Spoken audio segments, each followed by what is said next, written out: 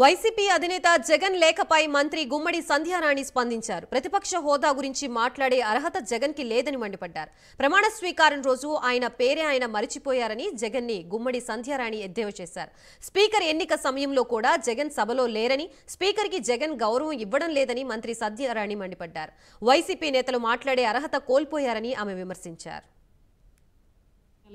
పది మంది లేకపోయినా ఆయనకి ఆయనకి ఒక తొమ్మిది వందల ఎనభై ఆరు మందిని పెట్టుకున్నట్టున్నాడు కదా ఆయన అంటే ఆయనకు ఒక రూలు బయట వాళ్ళకి ఒక రూల్ ఎప్పుడు. ఎందుకంటే ఆయన అయితే ఏమన్నా చేయొచ్చు బయట వాళ్ళు ఏం చేయకూడదు. ఇప్పుడు పర్మిషన్ లేకుండా ఏ బిల్డింగ్లు అయినా కట్టేయచ్చు ఏమన్నా చేయొచ్చు కానీ మనం అడగకూడదు. మనం కాదు అధికారులు అడగకూడదు.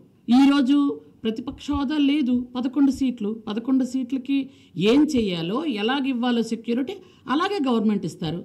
అంతేగాని ప్రత్యేకమైన రూల్ ఉండదు కదా. కాదేది కవితకు అనర్హం అన్నట్టుగా కాదేది మాకు అనర్హం అని మొత్తం అన్నీ దోచుకెళ్ళిపోయారు.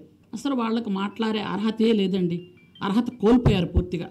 ఆ బూతులు విని ఆ దరిద్రమైన లాంగ్వేజ్ విని జనాలందరూ కూడా చీ అనుకునే ఈరోజు ఇలా ఇచ్చారు. ఎప్పటికైనా బుద్ధి తెచ్చుకోకపోతే ఇంకెక్కడ ఉంటారో వాళ్ళు పదకొండు నుంచి. ఆయన ఎమ్మెల్యే కదండి?